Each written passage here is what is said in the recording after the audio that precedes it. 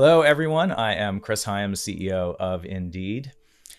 At Indeed, our mission is to help people get jobs. And this is what gets us out of bed in the morning and what keeps us going all day. And what powers that mission is our people. And here to help is a look at how experience, strength, and hope inspires people to want to help others. I am incredibly excited today to introduce our very special guest. Emily Chang is an award winning journalist and author. She is executive producer at Bloomberg TV and host of Bloomberg Technology and Studio 1.0, reporting on global technology and media companies, startups, and the future of business.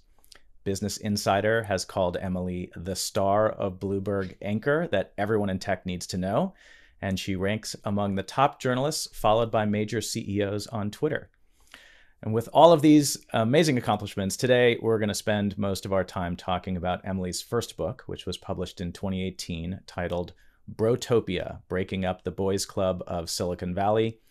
Brotopia was an instant national bestseller and had a profound, profound impact on me personally, which we'll be getting into in a little bit. Uh, but Emily, thank you so much for joining me today. Chris, thank you so much for having me. It's an honor to be here and speaking with all of you. Let's start where we always start these conversations um, with a, a quick check in. How are you doing today? I'm good. I am back in the office. I do a daily show every day. So I um, have been here five days a week since May, and it's, you know, got its ups and downs, like I'm sure everyone has been going through um, with the pandemic. I'm, I'm, sure some folks are considering whether to go back to the office now or not. Um, so, um, you know, I am making it work. I've got four kids at home, um, as you know, and so I'm juggling just like everyone else.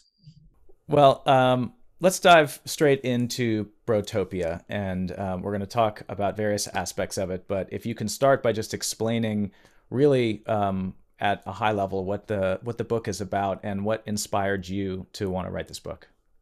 Um, well, so I've been covering the tech industry now for almost 12 years. And before I got to Silicon Valley, I was working for CNN in London and China. And, you know, I was, I covered the Beijing Olympics. I was on the front lines of this massive transformation happening on the other side of the world. And so I thought I was doing something pretty important. Um, and when I got the opportunity to come to Silicon Valley and cover technology, I didn't quite know what to make of it. You know, I knew it would be a learning curve and that it would be exciting and something different, but I wasn't sure that I'd be so excited about covering business every day uh, for many, many years to come. And what I realized is I was really on the front lines of maybe the most massive transformation in history, the technological revolution. And I had a front row seat to all of these amazing people and companies and quote unquote visionaries who are changing the world or at least trying to.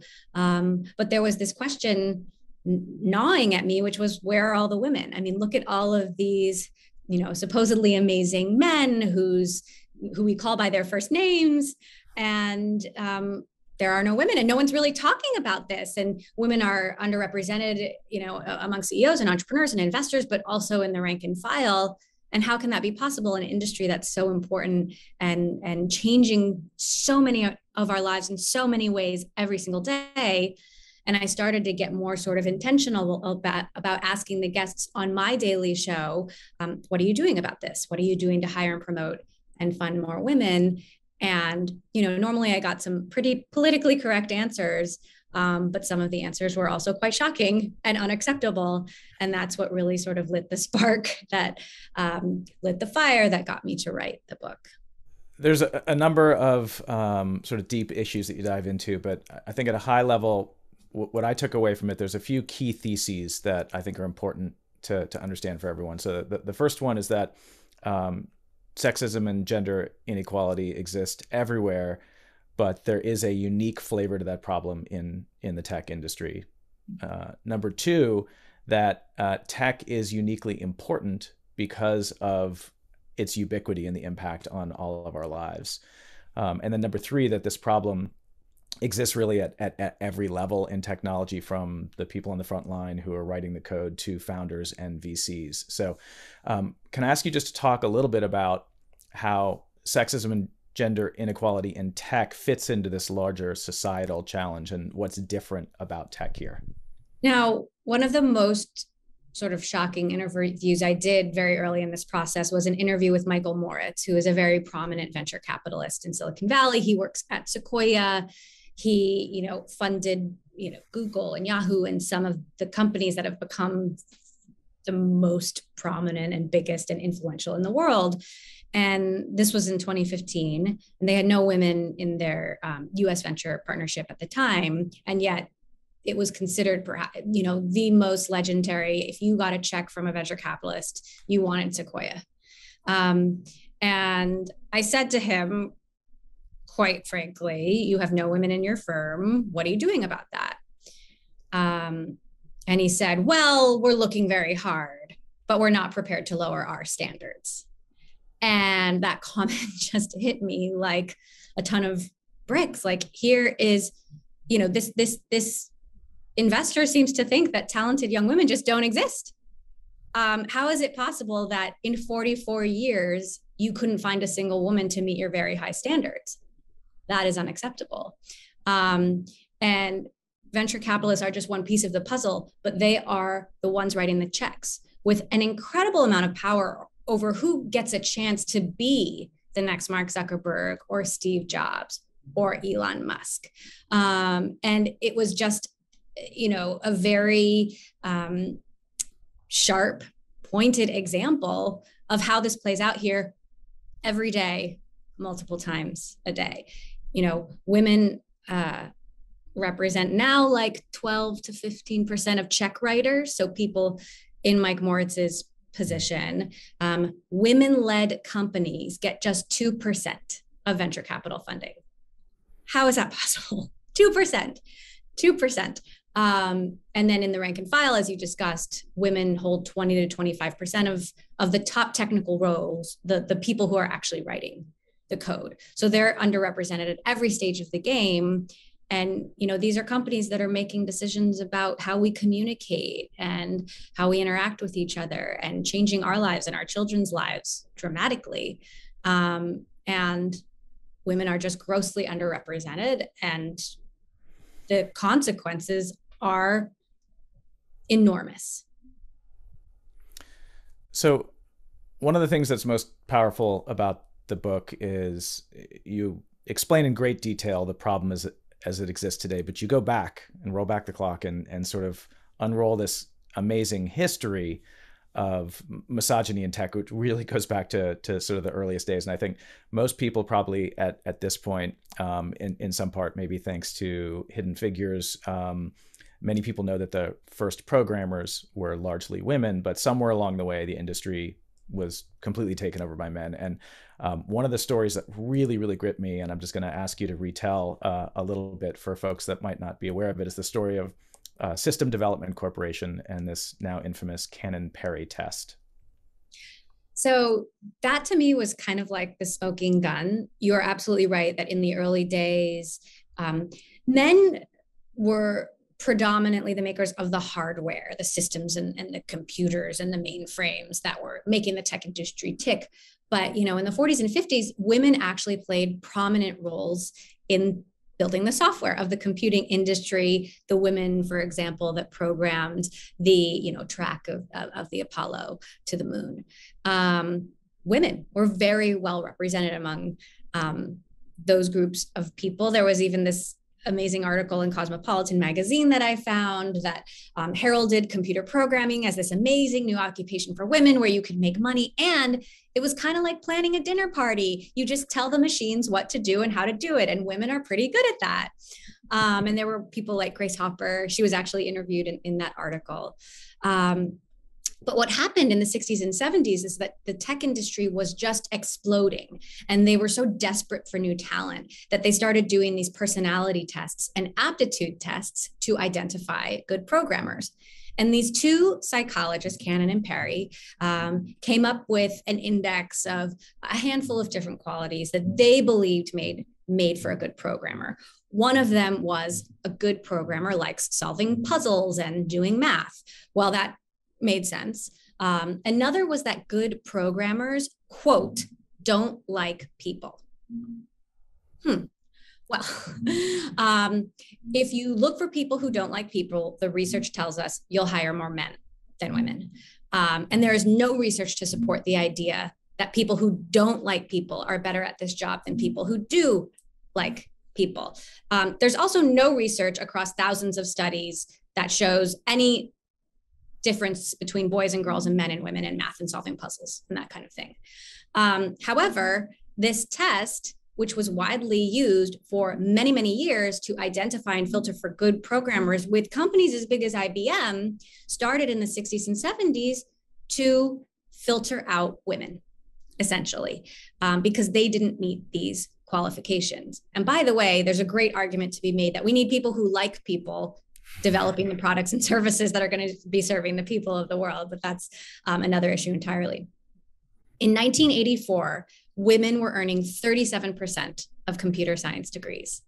But after 1984, that number plummeted to about 18, 20%, where it's been flat for the last decade.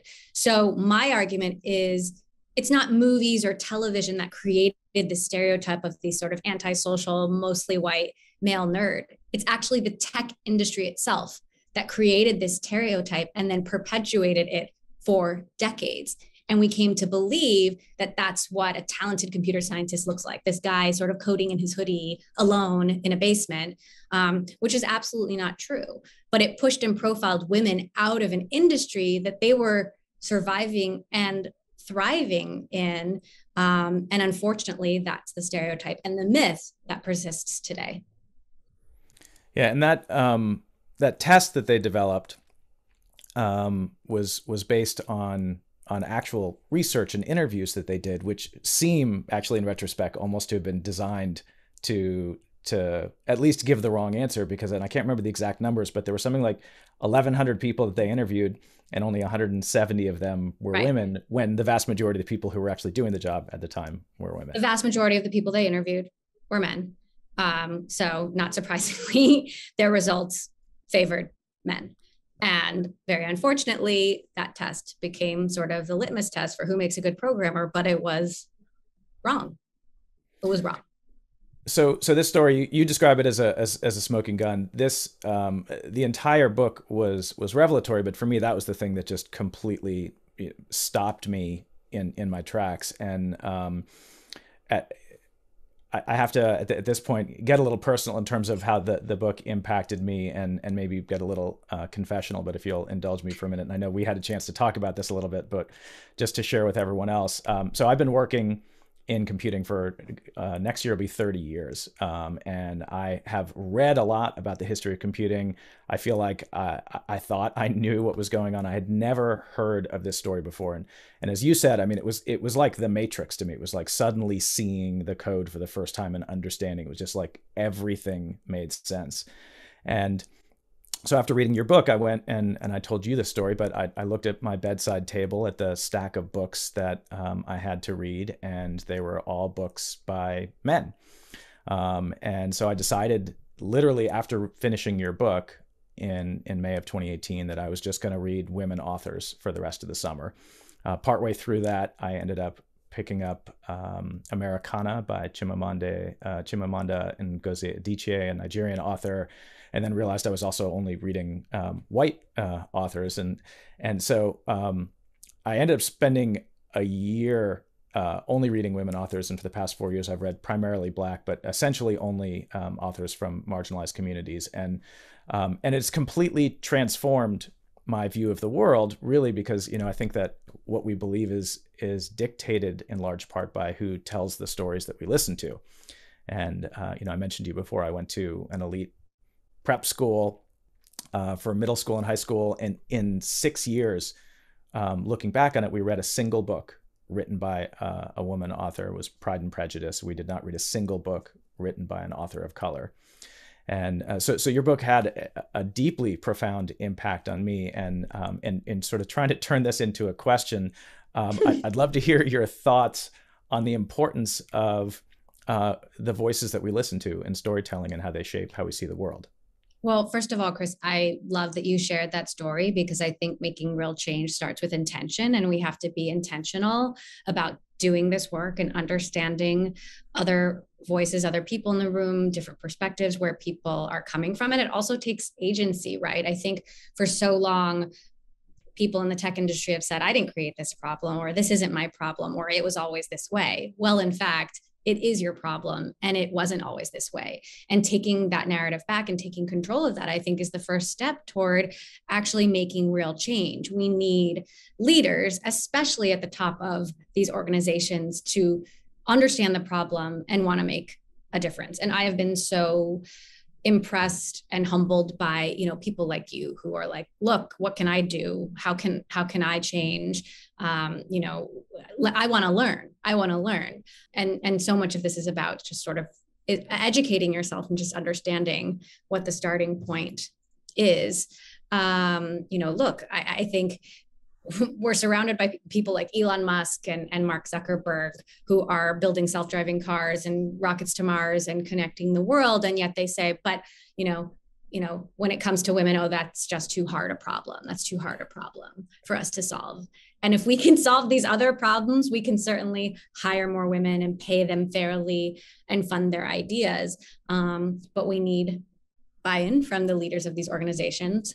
Um, but I, I also think that even though that is, is very important, you know, everyone at every level of an organization now has more agency and power than they did before. You know, your voices are being listened to. Your voices, you know, companies need to know they need to listen and and and and to hear you. Um, and so I think part of it is is using that voice, and even on your individual teams, making sure that you're making these choices, making inclusive choices when you're thinking about hiring and promotion and and doling out opportunities, or even just the way you run a meeting, right? And solicit feedback and ideas. So that's something that all of us can do, not just the CEO. Yeah, and I think you know that that trope of the "I didn't create this problem." Um, in uh, in her book Caste, Isabel Wilker- Wilkerson opens the book with this really great analogy, which is, you know, imagine that you own uh, an old apartment building, and you might not have built it, you might not be responsible for it, but if it's yours, if it has crumbling infrastructure, if the pipes are bad, if the ceiling's going to fall in, it's your building. You better you better fix it. You're responsible for for what happens from here on out. Um, so uh, part two of the confessional. So the the the the book hit me hard because of of the this story and seeing it the way that I hadn't thought of before. The, the, the second part is that one of the things that you do is you uh, the sort of key narrative of the evolution of programmers from antisocial nerd, where they started out, um, to what you describe as these risk taking bros, and you identify as patient zero essentially in this shift, uh, a small not very well known, but influential um, tech software company in Austin, Texas in the 90s called Trilogy. Um, I worked at Trilogy for uh, nine years. It was my first job out of grad school. I stayed there for nine years.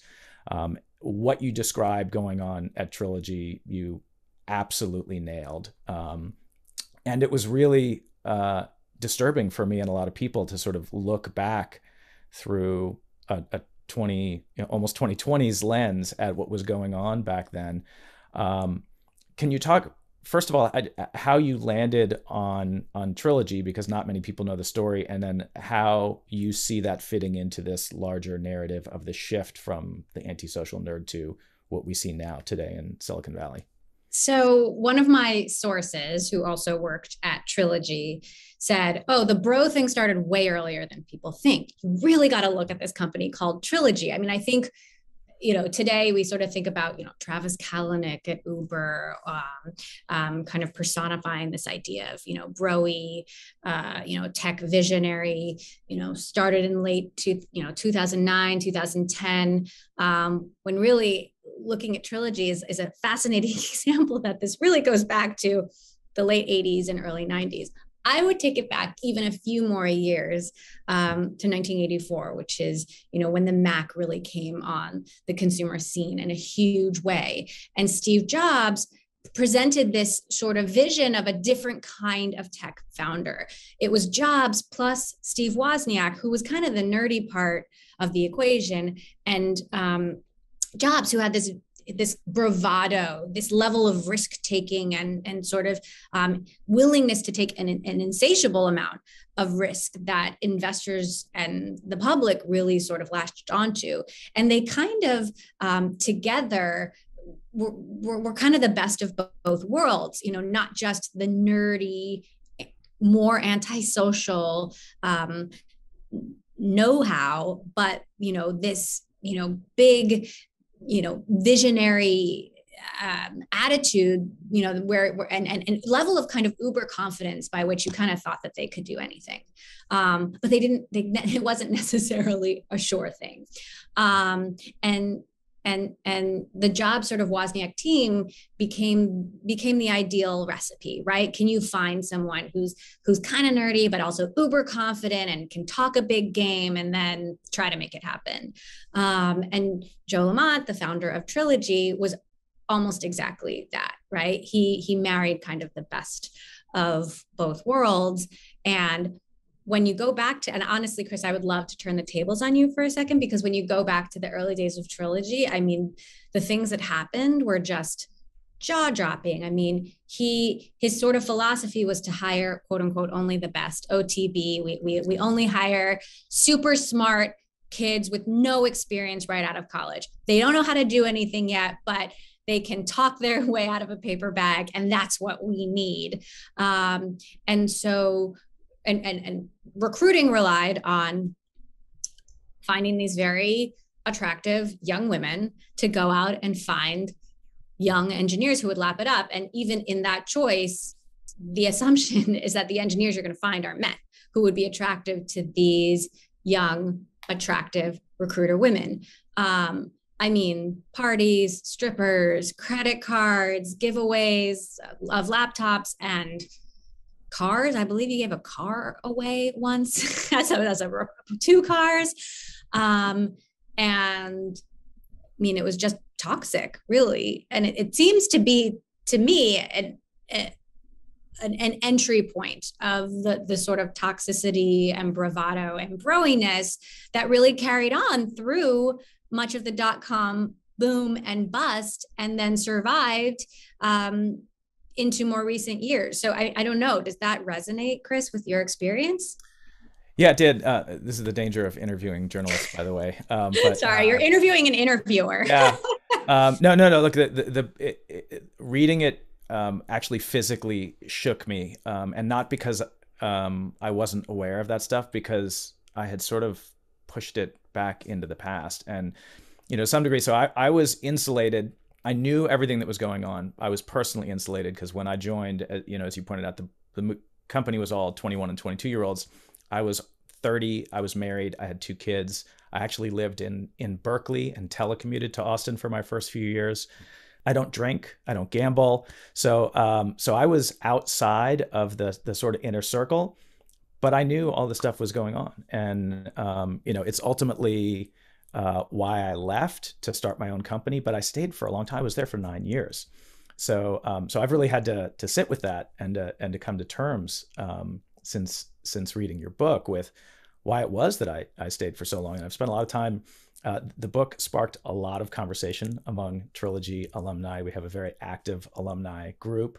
There was a lot of discussion about, and a lot of us got together and spent a lot of time uh, talking about it. And it was, um, I, I have to say, that uh, I I I want to thank you actually for bringing that back up because I think it doesn't just like all of these other things, understanding history and how we got here is actually incredibly it's it's it's impossible to fix the present um, without understanding the, the past. And I think I think there were a lot of us for whom this is just what the world looked like. And again, it was my first job. I stayed there for a long time, but um, I think also you know, from a personal perspective, and and and then I'm going to go back to asking you questions, but I'll, I'll just share this.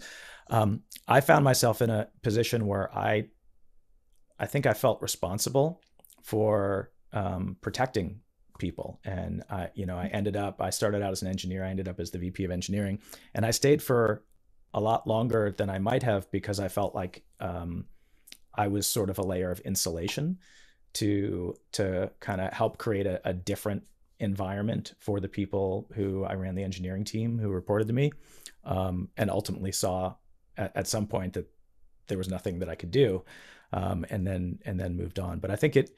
Um, I, I, think it would be really interesting for other people because Trilogy was uh, was certainly unique, but but not the only company like it to to really pause and, and look back and, and ask some of these questions. And so it has yeah. been um, a real catalyst for reflection. So thank you for that. Um, By the way, you were competing with Microsoft and IBM for talent. And so like Google was coming on the scene. And I understand that, you know, uh, this is how a lot of companies operated when it came to yeah, and uh, people. It, uh, but trilogy i will say i mean we, we as a as a group have talked a lot about i mean trilogy brought a bunch of really brilliant people together had some really interesting ideas but the thing that we were truly most world class at in terms of results was recruiting that was mm-hmm. the thing that we did i think better than anyone else. And it was really interesting to see um, just how how bald-faced and transparent all of that really was uh, at the time. And and um, by the can we point out that you know you'd hired all of these amazing people but the product itself it didn't survive right? Like i know that it it, it still kind of ex- exists but i guess it kind of goes to show that that kind of a culture isn't necessarily a recipe for success even if you have literally the smartest people um, or some of the smartest people because we know that women weren't as well represented among that group of people um, building the product. Um, you need to have a diverse a diverse group of voices in the room building the yeah, product. I mean, I, you want to change uh, the world.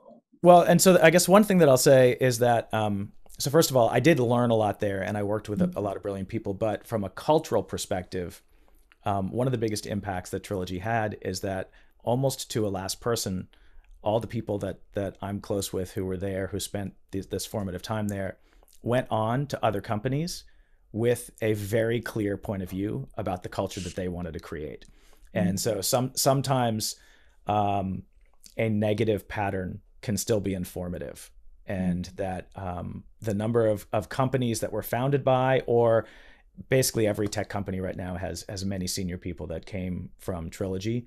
And we all had this sort of collective experience that drove us to want to do things differently. So I actually i like to think that some good has come from mm-hmm. that um, but maybe for for unintended reasons. Um, but so getting back to the book, one of the things that's that we definitely saw uh, in this in this sort of hiring frenzy that that trilogy was going through um, is you talk about this this uh, myth of meritocracy that um, you know one of the people you talk about a lot is is Peter Thiel in in the PayPal, but it's it's clearly something that is pervasive.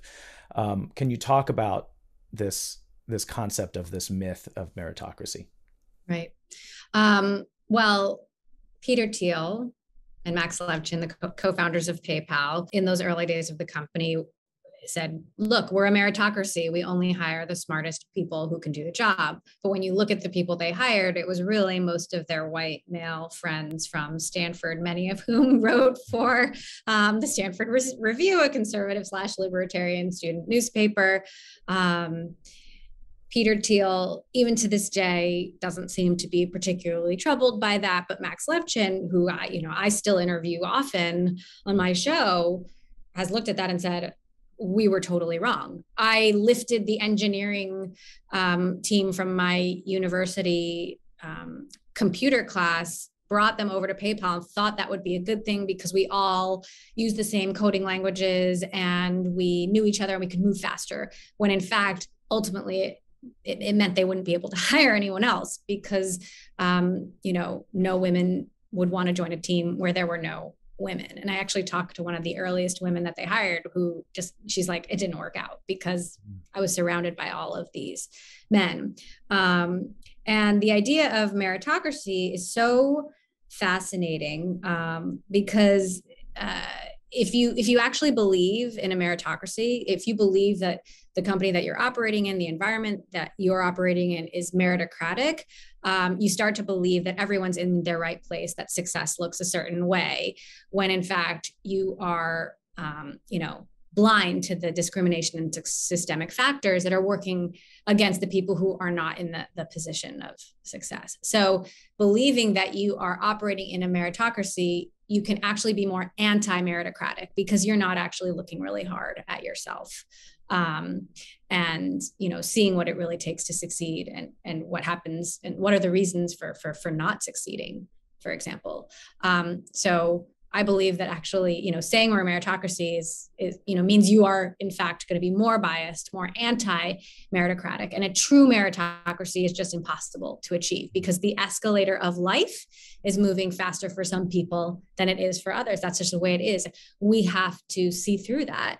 Um, we have to um, implement hiring processes and review systems um, and you know progression and promotion systems that take all of this into account and give ourselves a structured set of tools by which to make these hiring and promotion and progression decisions if we want to try to be as fair as possible.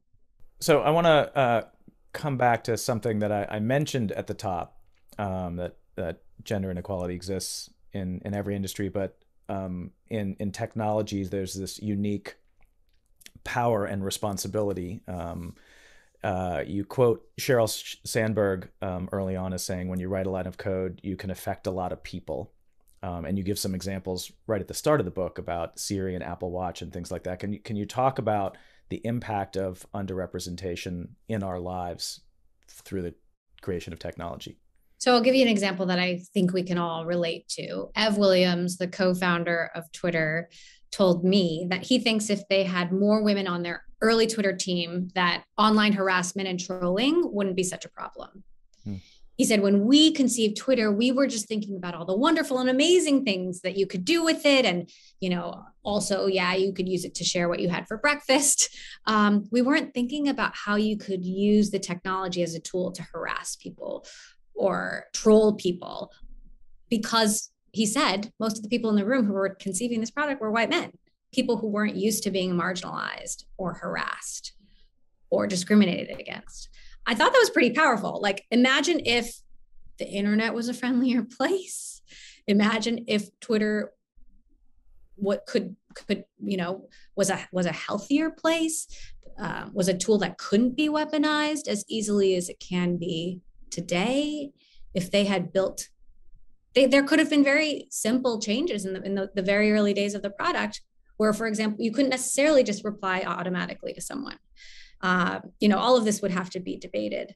Um, but just having someone in the room to say hey i actually think this might women women might not like this or might be you know this product could be used to, to victimize someone else um, maybe it would have wouldn't have been such a free for all great counterexample. Um, one of my favorite uh, local Austin companies, Bumble, uh, Whitney Wolfe Herd. Um, they started out as a a dating app that was women centric, and very early on, one of the things that they saw um, was that uh, basically freedom from trolls was going to be an important part of that. Um, and when they saw a lot of vitriol and hate start to to sprout up on uh, on the app, the first thing they did was really from the ground up architect an experience um, that would create a safer and and more peaceful kind of place. So, uh, you know, the plural of of um, anecdote is not data, but um, but that's a to me a really powerful counterexample of what mm-hmm. happens when you start with a different thesis. Yep, absolutely. And I think Whitney Wolfe Herd and Bumble are an amazing example of also when you start with a female uh, founding team and leadership team, it's easier to hire more diverse candidates and hire more women. And you see that represented in Bumble's executive team and across the company.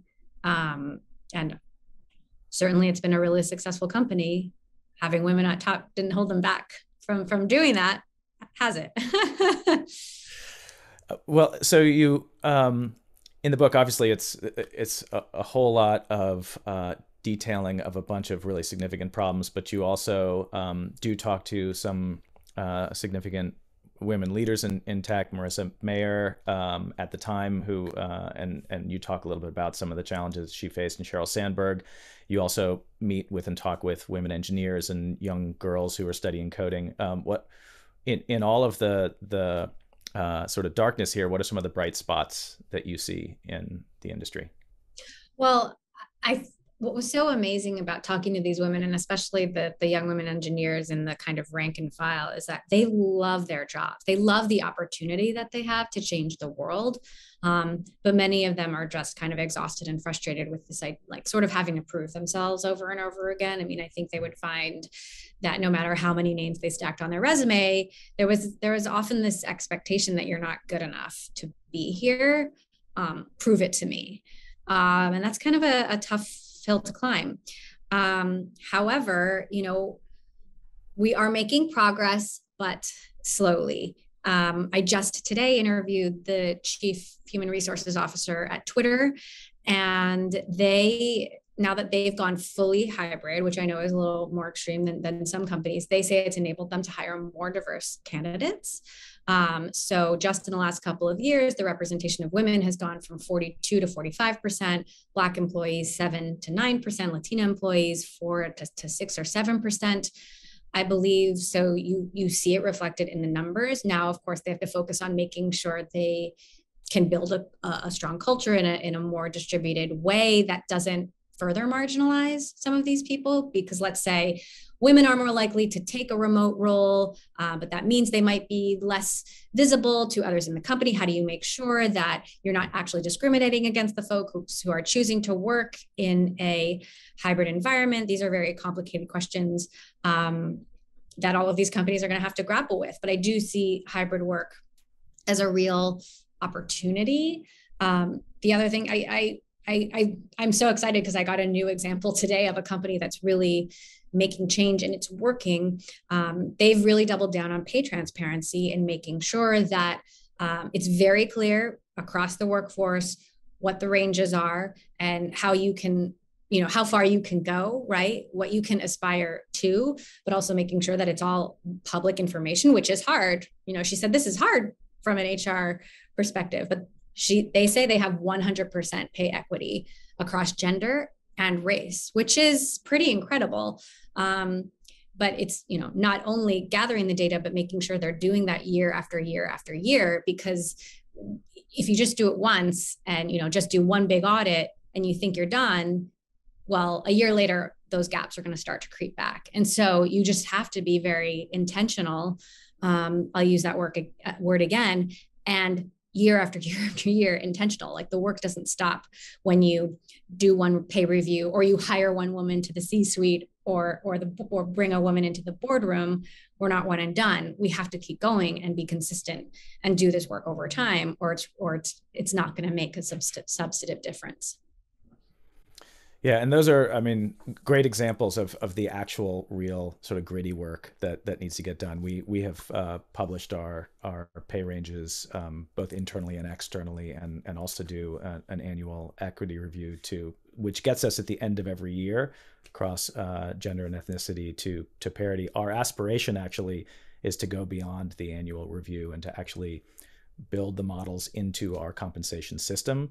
So every quarter, when decisions are made, we're not making decisions that then have to get addressed at the end of the year, but mm-hmm. we're actually maintaining 100% equity throughout. So, uh, but it's real work, and and so and I definitely applaud anyone who's trying to do that work. Um, well, and also, I mean, I would applaud like this is a bright spot. Talking to you is yeah. a bright spot. The fact that you care, the fact that you you know started reading you know more women authors. Uh, you know, there's so much good, healthy conversation that's happening um, around these issues and we also we just need to make sure it's being followed up with real action right? Because i think the pandemic especially there's a lot of concern that the pandemic could set women back right? Um, you know more you know more women have chosen to leave their jobs or lost their jobs because of the pandemic because they take on the responsibility more caregiving responsibilities whether it's for children or elderly parents. And we don't want to we don't want to lose progress right? It's it's hard enough as it is right? And so just being conscious of that and making sure that this is still a top priority um, even as we're just trying to reopen our offices and um, get our revenue back on track right? Um, it needs to be a top priority of you know obviously leadership but i think it can also be a top priority for people across an organization. Um, making sure you're having these conversations and also giving your workforce the tools to make decisions that will have an impact. I wanted to ask a little bit about um, what you've seen that, uh, if anything, has changed since you published the book. So it's it's certainly not old, but yeah. four years in in tech time, uh, you know, could could can be like twenty or thirty. Um, you know, it. One thing that that that uh, I, when I was thinking about this question that uh, just popped into my mind was, you know, the Bain Crypto Fund uh, launched on International Women's Day. Yes. tweet, tweeting out their amazing new team of all men. Um, one thing that I that I thought about that though is you know okay nothing has changed if that's happening, but at the same time they got destroyed for it, which maybe might not have happened four or five years ago. So um, is that change or or what what have you seen? Yeah, I think that's an example of how things can change, right? Um, and you know I don't even want to use the words to their credit, but they did apologize. They took it down. Now they're working harder to find more women. I'm sure they're not going to put another picture up of their website unless it has some more women on it. So hey, you know, you know, I think good intentions are great, but also um, if there's a little bit of shame involved in some of the work being done here, that's okay too. We need actual numbers to change in order to make a real difference. It's not going to change if if if we we're just all talking about it, right? Um, and so, you know, obviously, I think an example like that is disheartening. It like looking at the numbers of you know two percent women, two percent of venture capital funding going to women that's really depressing, right? Like, what happened? It has not moved at all um, in the last four years. The the people who put a, spos- a positive spin on that say, well, the amount of venture capital has just ballooned, and so women are getting the same size of a bigger pie, right? The same size piece of a bigger pie. And I'm just like, oh, but that's not good enough. Um, if you look at the numbers of women check writers, it's uh, the percentage there is slightly up. The percentage of women in engineering is slightly up. You do have more transparency from companies publishing numbers, um, you know, doing these paid transparency um, reviews. And I think all of that is a good thing. Um, I'm interviewing Serena Williams about her launching a venture capital fund, but also, you know, I don't know if anyone saw the New York Times published um, a story on her venture capital fund and accidentally printed a picture of Venus instead of Serena. And, you know, she's like, how can we change the world if even I am overlooked? You know, these biases even affect me, the most famous uh, athlete in the world, maybe the greatest athlete of all time. They still get me mixed up with my sister, right? So, like, this bias still exists, still is pervasive. There are still barriers, and we just cannot we, we cannot sit back. We need to keep up the momentum, right? Um, and I mentioned the pandemic because I think it was, you know, maybe we lost a little momentum because we're facing a global pandemic, but we have to keep up the pressure and the momentum and making sure that, you know, not just these conversations are happening, but that action is following up. Yeah, and, and thinking about your comment about the you know the small piece of a bigger pie, it's like trickle down is still a trickle, right? So mm-hmm. it uh, that that mm-hmm. doesn't quite work. So let me um, as, as, we're as we're um, winding down here time wise, um, let me ask a, a, a, personal question, which is that so um, I have two daughters. One of mm-hmm. them works in tech, um, and she uh, started out actually working for. she spent the last um, three and a half years working at a women uh, woman founded uh, company, and um, she had a very different work environment, certainly than than she would have had she joined Trilogy in the in the 1990s. Um, but with all of this, I know you have you have I believe three boys and one daughter. Mm-hmm. How would you feel about your daughter going into tech? Um, so look, I feel like tech needs talented women.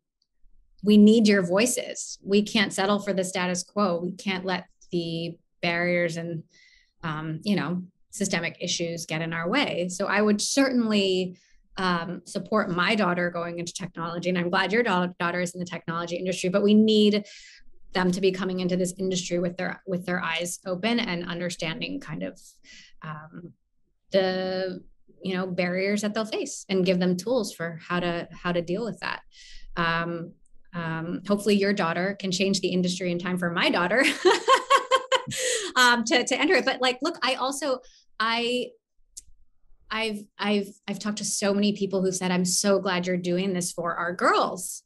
I have daughters. I'm so glad you're doing this for them. Well, I have three sons and I want this for them. You know, I think their lives will be better in a more equal world. And like, I, you know, you know we need to we need to talk to our sons about this you know it, it's it's as simple as you know reading i don't know how many of you have read a children's book and like the gender roles are just totally traditional and you know sometimes i'm like i'm not reading this book anymore or you know that dads can be teachers and moms can go to work and girls can be superheroes you, you know just making sure that you are taking those opportunities to to remind your kids tell your kids like this isn't the way that we want the world to be and and you can change it too right? Um hopefully that we can change the world for the next generation and make it better for them. Um because you know this is an industry that has so much power to do so much good um but also can, that can have negative consequences as we've seen. The impact of technology isn't always good but it is always powerful. Um, so we need all voices to be represented. Yeah that's a really important point about your boys that um, often you know there's there's a variety of different uh, opposing voices that you hear in these discussions and a lot of them center around this idea of it's a zero sum game. Um, but generally, uh, the evidence is that you know increased accessibility is good for everyone. Um, mm-hmm. and my favorite example, we talk about this a lot at Indeed, is accessibility ramps outside of buildings, which certainly are very helpful or necessary for someone who's in a wheelchair, but um, someone who's pushing a stroller or mm-hmm. someone who's carrying a big package or someone with a bad knee, like everyone wins when things become more accessible and and more equitable. And so I think that's that's one of the the biggest delusions that that needs to be smashed in all of this. Um, so uh, I'll ask the the same last question that I always ask in these discussions, which is when you look back over the last couple of years with everything we've been through with the pandemic um, and so much of it being um, you know incredibly challenging and difficult and sad.